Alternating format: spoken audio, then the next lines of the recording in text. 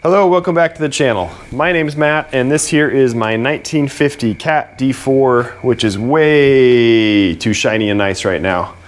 I gotta get this thing started so I can scratch the heck out of it and get it all dirty.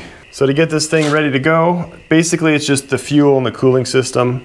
Got the radiator ready to go, fuel tank's ready to go. There's just a lot of odds and ends here I need to clean up and paint.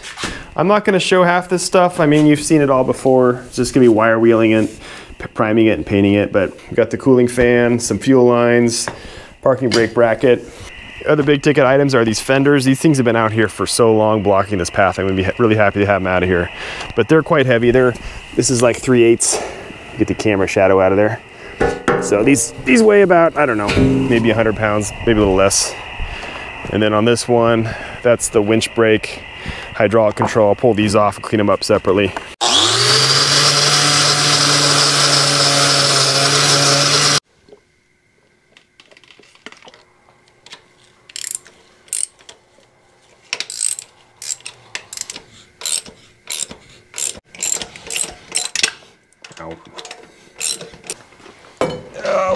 It's heavy. Uh, come on. Uh, oh.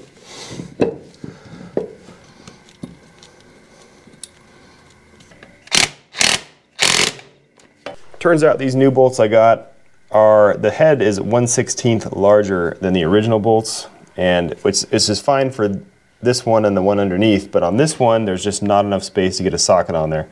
So I reused the best bolt I could find, and I've just barely got it in there. It's very, very tight.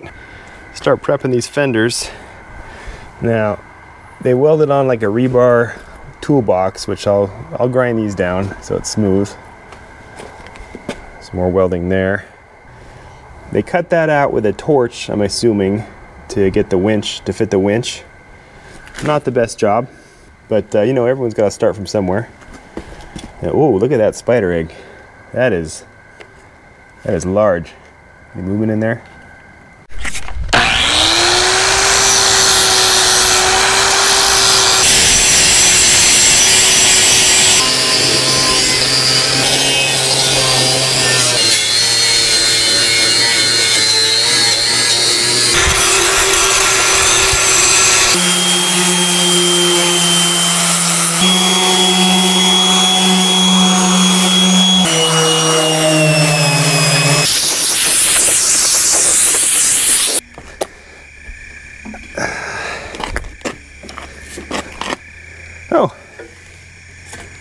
When is Charlie's balls?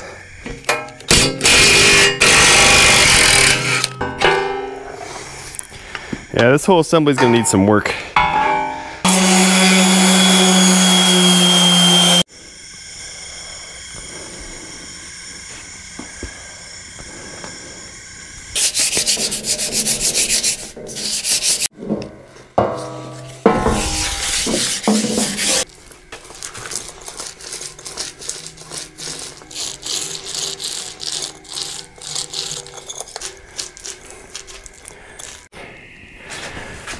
If you can make that out, I mean, this area is very, very pitted, but that's right where the brush guard's gonna go, so who cares?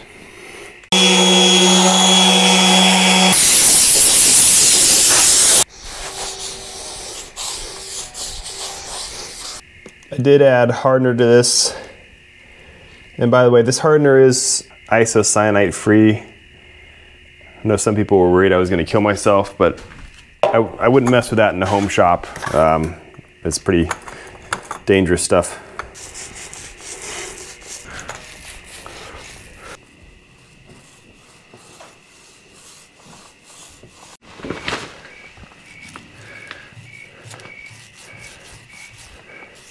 All right, I'm on the third and final coat here. Really not much to talk about except I've experimented with different rollers and the foam ones work the best. They leave bubbles, but the bubbles all go away with this paint at least. I've had issues with foam rollers on like using latex paint, but it works really well for this.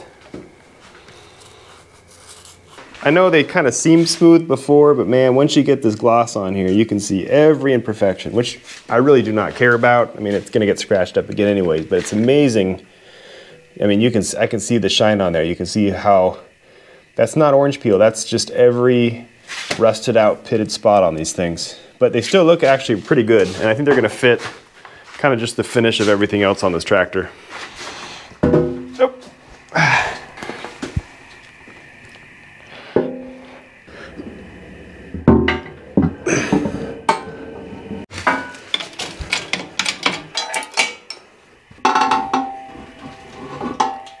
I'll just stick some threaded rod in front and back. Then I should just be able to slide it on and take the lift off.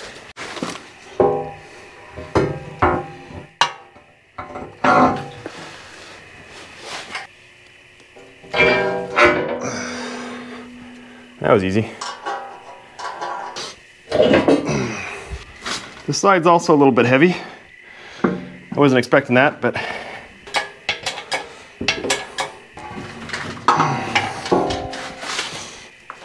it's coming down.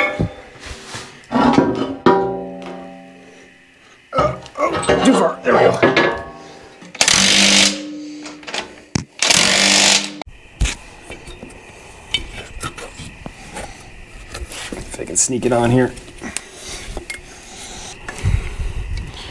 At least these aren't frozen.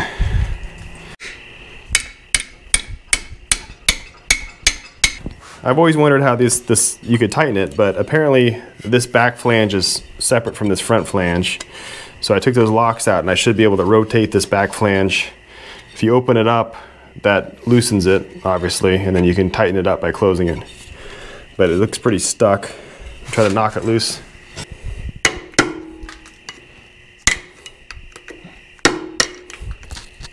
If I break this pulley, I do have a backup, but let's try not to. It's pretty tight. I broke the tip off my brand new bottle of penetrant here, but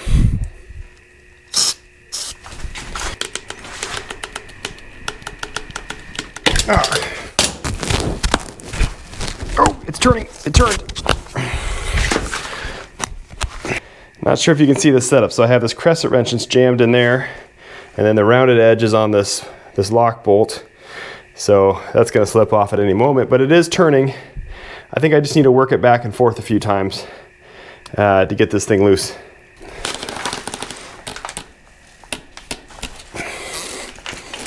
So this fan blade is not your average automotive fan blade. It's pretty thick. So maybe I can get this on here and use that for leverage. I just need to work it back and forth. I think it'll free up. Oh, well maybe I should just pull this whole thing off.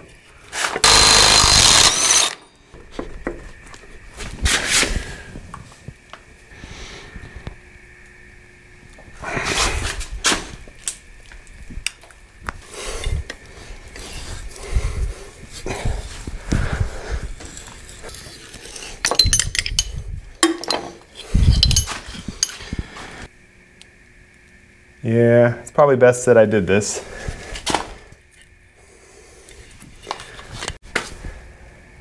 Oh, shoot, this thing looks brand new in here.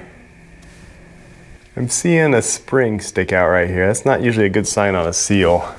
So, yeah, oh man, this thing looks shot. All right, I was just reading through the uh, engine manual. This is a ring. I thought this was an O-ring, but it's just a snap ring. Oh.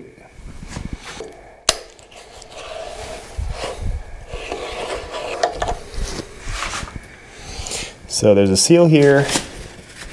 There's the bearing. Yeah, I mean, the seal is shot out. You can see this pumps grease through the shaft. We'll see actually if that works or not. All right, see what happens.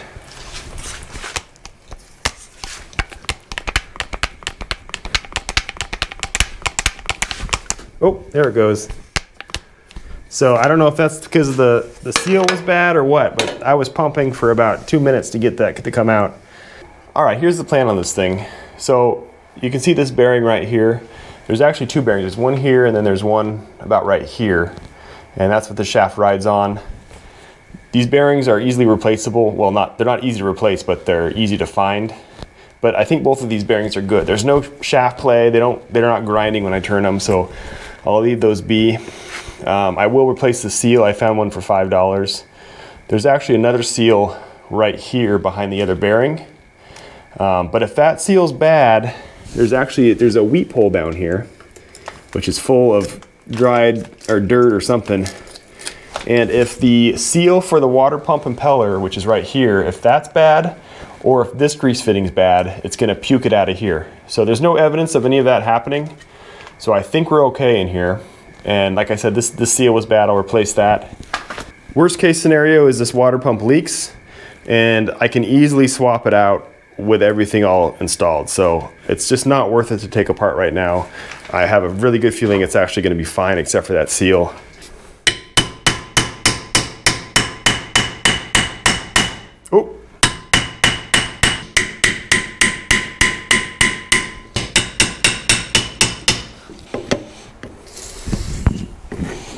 I can't get the tip out of here. I mean, I, and I can't throw this thing away. It's like a full bottle.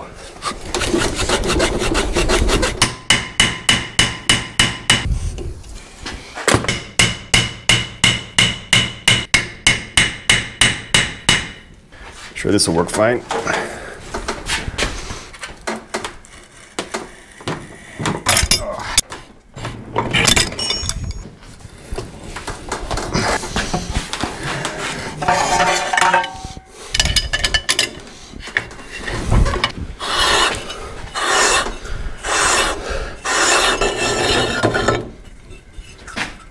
You know, I think part of the problem is if you look in here, there's a slit, and when you tighten this nut all the way down, or the screw all the way down, you can actually see it's clamped right there. And I tried to straighten it out, but I'm guessing it's just not perfectly straight, so the thread, oh yeah, you can see it right there. You get the light on there. It curves in right there, that's the problem. Yeah, now that the threads are clean, it hangs up right when it gets to that. Well, still not that hard.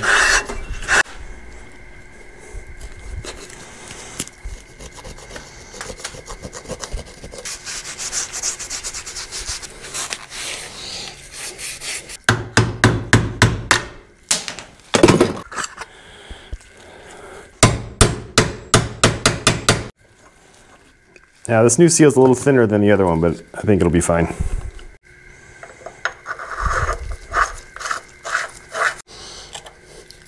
So there's actually a hole in the bottom, which supposed to, oh yeah, there it goes right in there. So that holds this in place, that's the preload. Unfortunately, when I took the snap ring off, it has a little, it's supposed to have a little notch up that goes in that hole and it broke off. So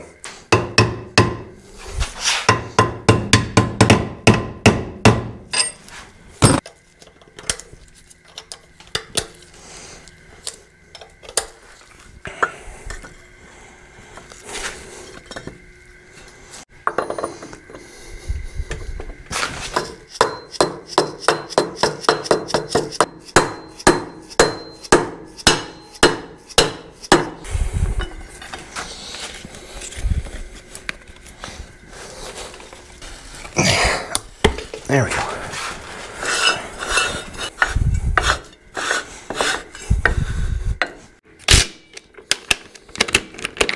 Not really sure how tight to get this.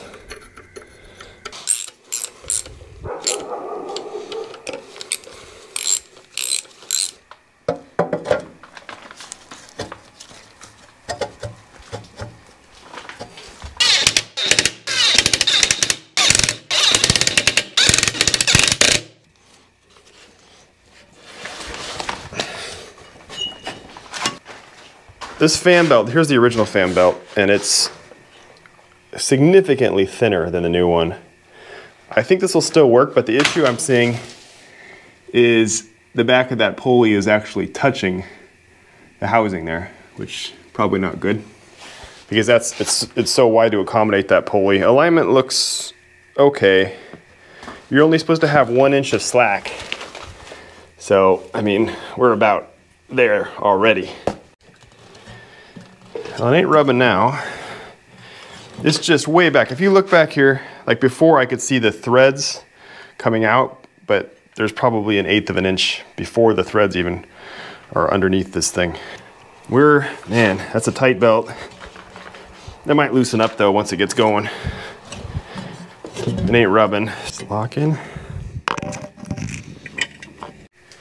Let's make sure I can't loosen this. All right, call that tight. Man, this thing spins nice. Look at this. The threads are really bad on this thing. Okay, this is the front PTO shaft. I still have not gotten the O-ring that goes right here. It should be in the mail. Anyway, so I think these had like a angled grease fitting on them. Now this whole thing on the outside is a seal. It's a cat only. It's made by National, but it's cat only. Uh, I could not find it anywhere. Fortunately, it's in pretty decent condition, so I'm just gonna put some grease on it and let it go. It is just a grease seal. It's not like an oil seal.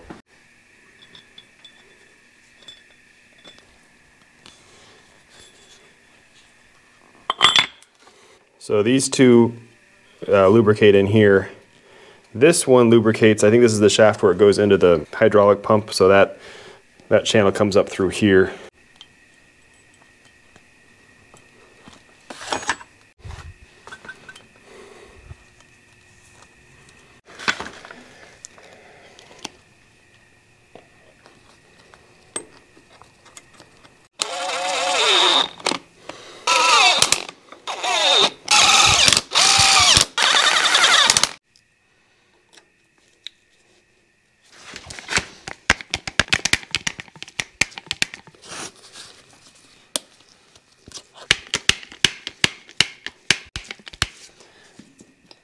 Can't even push that back anymore. So we might actually go about there.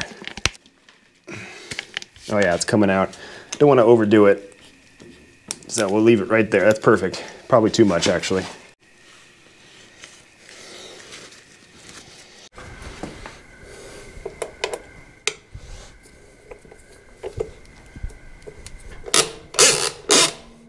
I'm sure this bent shaft is bugging some of you, but I'm not gonna bend this back until it's all hooked up. All right, so I'm doing the, the fuel tank here. This is, I think this is how it was originally. There's these two spacers. I'm sure this is not stock, but the point of these spacers, I think, is to clear the winch control. I just got tape holding these studs in right now.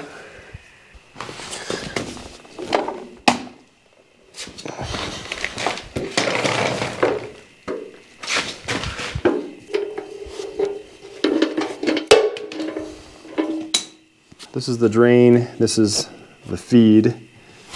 I don't remember which goes where. Oh yeah, that's probably the right one.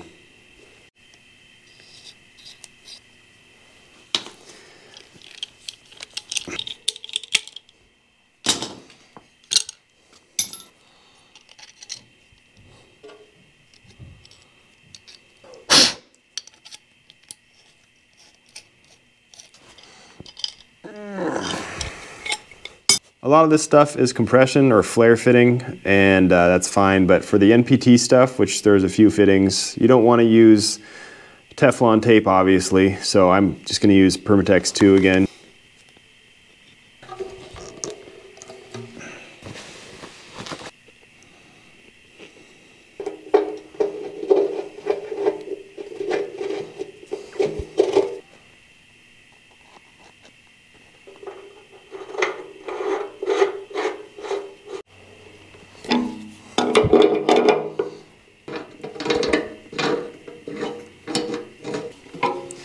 Probably good.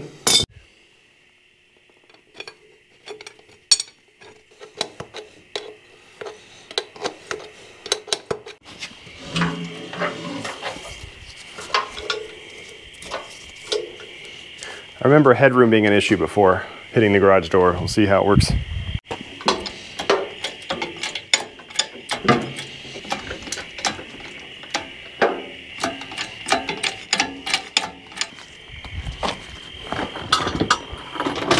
Not going to be high enough though.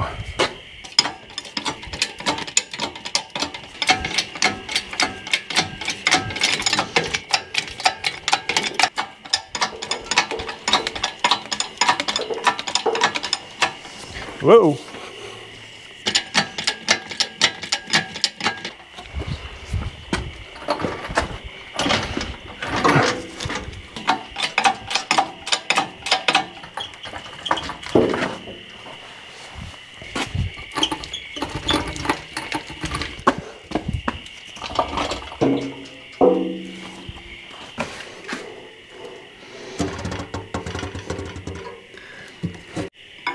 All right, just ease her down.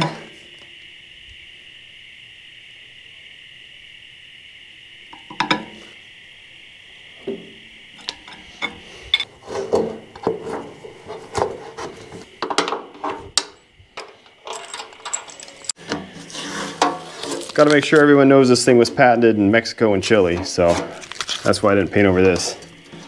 She's in. Did I put, I think I put this on backwards. I think this needs to be flipped around. Yes, that's definitely got to be what it is. The good news is that I think I can do this without removing anything. I just need to take these bolts off and flip it around. How did I miss that before? Dang it.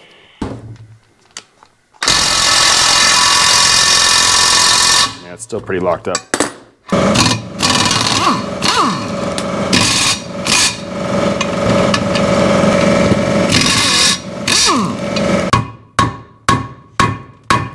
Pretty rusted. All right, let me get my other wrench out.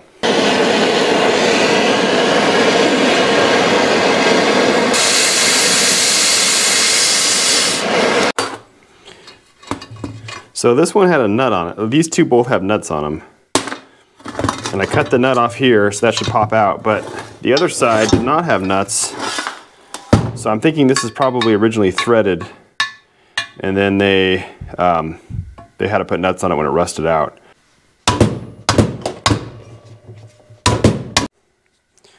Try a one half inch.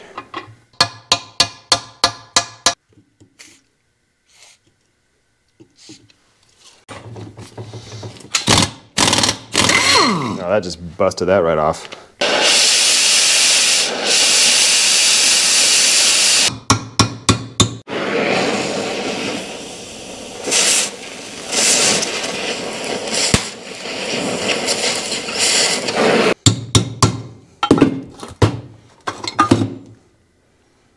No damage to that. Ooh, oh, that's a gasket. I, thought, I saw a crack right there, but that's a gasket. So since these are stripped out, I think I might just drill a hole in here with my torch and then rethread everything.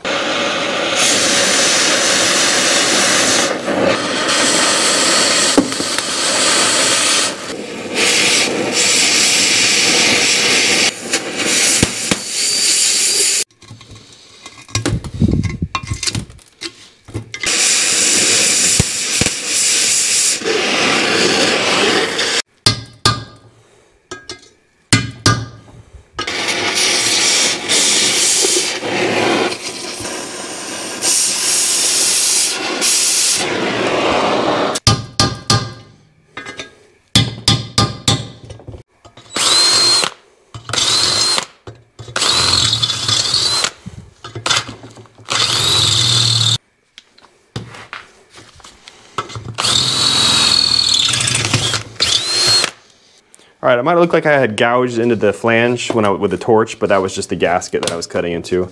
So I've cleaned this up now. You can see it's just pitted, but there's no gouges from the torch. Anyways, I did get a new gasket. This is uh, aluminum with a rubber in the, in the middle, but it's aluminum on both sides. Uh, I'm not sure how it's gonna do with this all this rust pitting. Well, I guess we'll find out.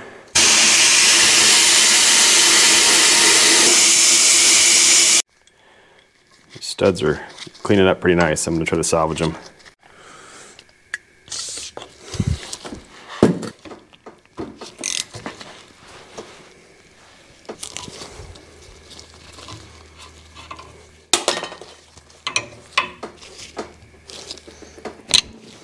All right guys, so if you remember in the last video when I pressure washed, or was that two videos ago? I don't even know. When I pressure washed these, uh, water got in through these holes and up into the valve cover. So that tells me that these holes are obviously not blind and this is a coarse stud.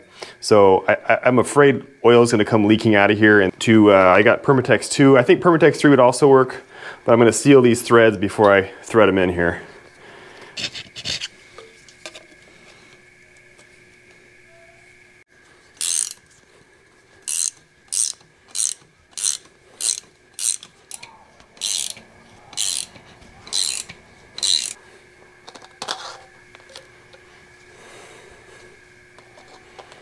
Okay, here's the exhaust manifold. It's, I mean, it's it's rough. Looking, you can see how it's. This is not. I mean, this has just been rusted and pitted all the heck. I don't see any holes in it anywhere. Okay, product I'm using is slip plate, and it's basically graphite. Um, so it's this is a little bit of a trick, but graphite holds up to heat really well. I've done it before on a manifold, but never one that's this bumpy. So we'll see how it turns out.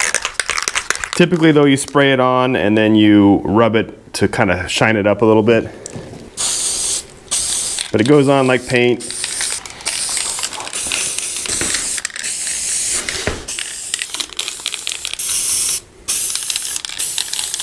So I can show you on the only smooth part on this entire thing.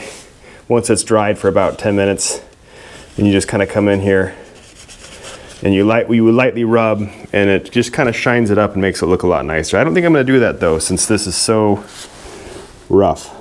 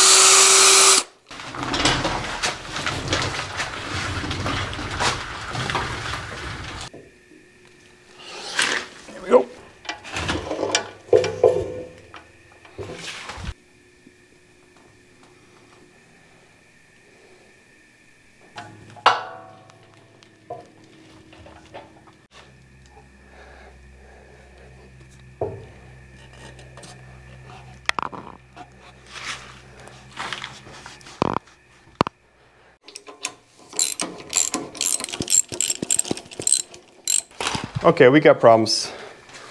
So up here, this is fine. This will line up perfectly. I just, you know, need to get that in. But on the pipe down below, there's a huge gap there. I mean, this is, this is flush. So that should be flush there. Um, I got the other pipe off the other engine, the original engine, and just holding it up, I can tell you this one sticks way further forward. It, it would fit. I'm pretty sure what's happened is this thing has gotten bent back just from storage and getting moved around.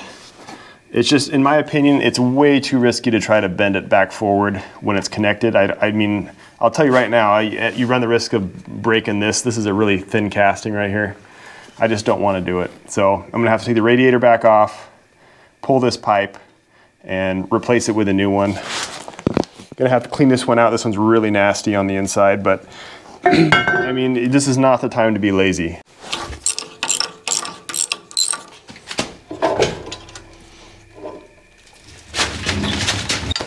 Just let that RTV cure on there, it peels off a lot easier.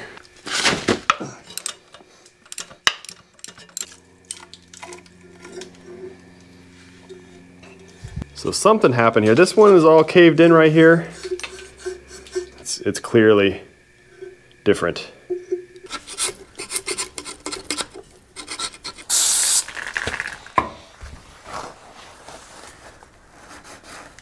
Okay, well that only cost a day. Um, I only got one coat of paint on here, but once it's on, I can kind of brush on another quick one.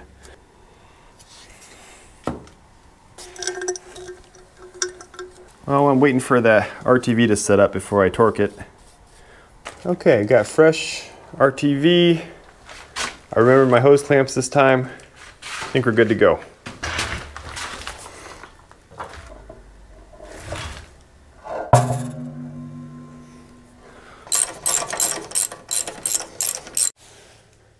Snugged up there and there. Now that's nice and flush. So we're, we're golden there. The color match between these is actually really good, but this thing is so dirty. It looks faded almost. So these hose clamps have a nylon nut on them, so they're mostly vibration proof. I was looking through the parts diagram. Originally, this was, I think, a solid piece, but you can tell this thing's been welded on.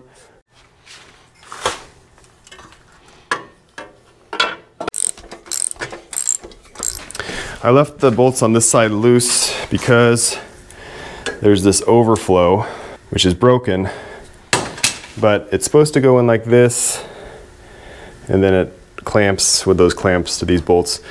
Somehow, I don't know how this happened. Look how flattened that is. I'm not sure. Okay, we got a leak coming out of this plate right here. And uh, so I, I, if you've watched this channel, I made this plate a long time ago. And so, and, and I didn't use RTV, I just used a normal gasket. So most likely you can see, I don't know, hopefully you can see that the surface is kind of not smooth at all. The really good news though is that there does not appear to be a leak between the engine block and this bell housing. So there is a port that goes through and that, that's where the water's coming up out of here. This is for the pony motor. So I'm really happy about that because that would be, that would be it completely taking everything apart again basically. Now let's deal with the clutch here. There's a few adjustments I need to make probably. Whoa. I feel high up. This is a big machine now that I'm sitting on it. There's three issues here that I need to fix. So the first is I don't like the position of where this lever is. I'll kind of show it against my leg. Um, so when the actual, the clutch is, is in and it's in gear, it's gonna be right there, which is a little bit uncomfortable. I got long legs. That's why I kind of, I, I figured as much. So I'm gonna go ahead and thread this in a little bit. Second issue is the interlock is not engaging. And I know the interlock works, so I think there's that other threaded rod in there that I'm gonna have to adjust. I think that's to fix the interlock. So I'll probably start with that and then I'll switch over to this and make sure this doesn't shift around. And then the third thing is the actual clutch itself. I think I might want to tighten it in a little bit. I mean, the manual just says it should be reasonably hard to, to engage it. It does snap, but so we'll, I'll adjust that a little bit. And I guess to do that on this older machine, there's an inspection cover on the bottom that you have to get to. On the newer machines, apparently you can do it from the top, according to the manual. One other small issue I found, uh, to get, like, I had the floor plate on over here just to test everything out. I can't get it on here with this stud. And so I remember that this was a bolt and this was a stud, and that's the reason why. Okay, so when I let the clutch out and engage it, this is the interlock shaft. So I want that to come out more, which means I think I want to thread this in so that this is in more when it starts to run up. Does that make sense? What are we doing? We threading this in? I think so. Okay, let's try that.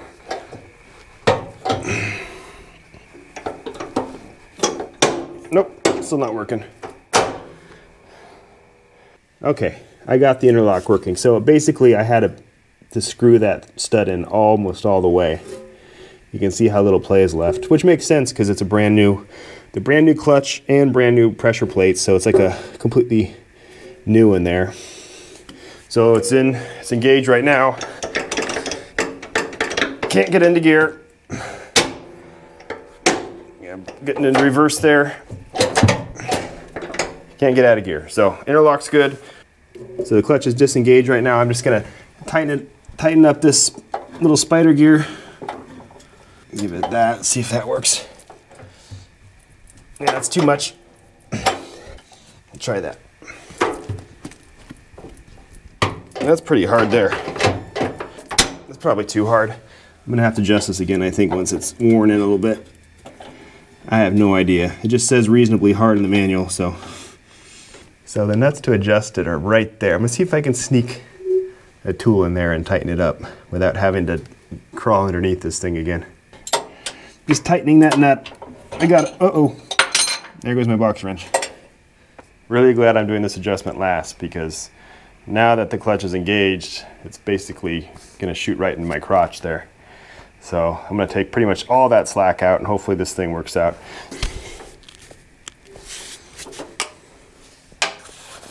All right, I got adjusted way in, not all the way, but pretty close. And I kind of like this. So right now the clutch is disengaged. It's, I'm like leaning back on the seat right now. So it's close to my hand. I'm not sure how this will work out, but when I engage it It's right there at my knee. Uh, so, and, and, there's, there's like leg room over here, so I think that's gonna be okay. I don't know, I've never operated one of these before, so, but I think, I think that's gonna work for me. So I'm about, uh, I'm almost 6'4", and so there's actually a fair amount of adjustment in there. So go ahead and put the grease on. This just gives it a nice little seal. The other side of this gasket has Permatex 3 on it.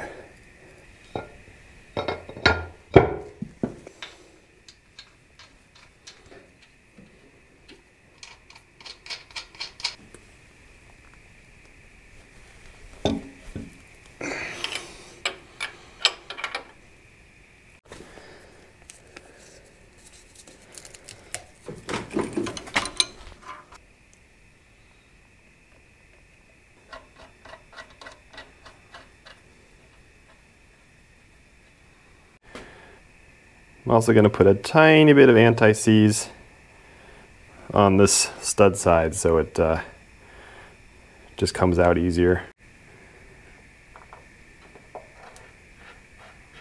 Just leave that hand tight for now since I am going to have to take it out when I uh, put the floor plate in. So when I took this apart, the um, original bolts were stuck in there and ripped the inserts out of the seat. So just use some anti-seize.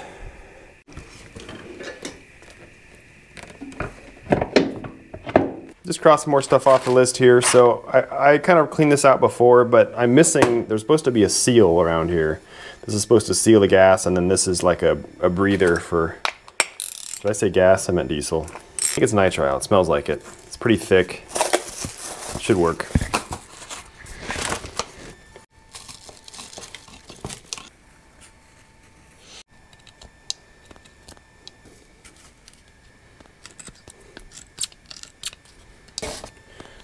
should. And then I'll use my old friend here to stick it into place.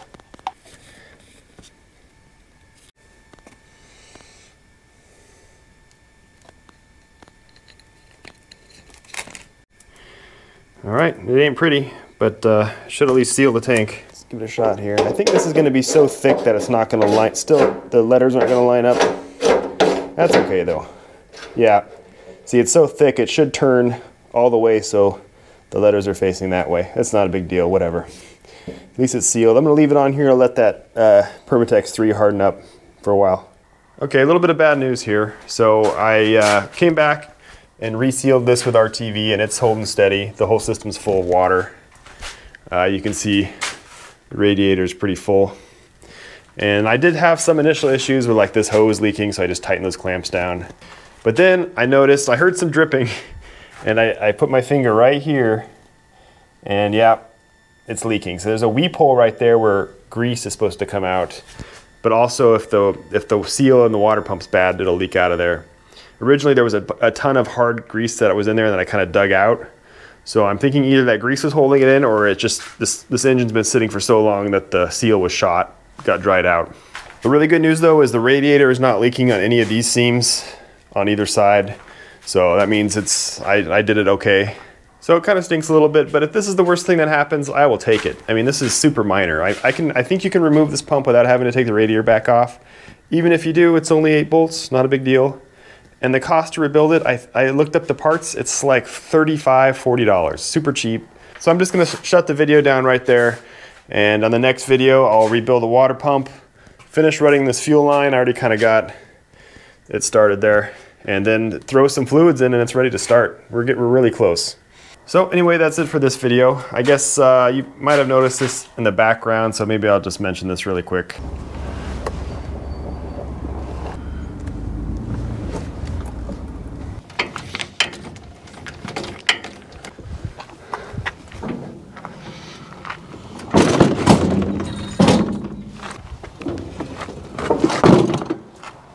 Well, I just bought this piece of junk and I'm not really gonna film this. This isn't for me to work on, but uh, you'll see it probably in the background of some of the videos, so I figured I'd do a quick look at it. So my uh, one of my nephews has for a while been bugging me to come out here and work on stuff. So I kind of got this as a starting spot for him. Got it for a few hundred bucks. It was kind of sitting in storage at an old bike shop that they, they weren't gonna work on it. They were just trying to get rid of it. It's missing some parts. It's been kind of ripped up a little bit. I mean, not, it's mostly complete, but I have a feeling we're missing something right here.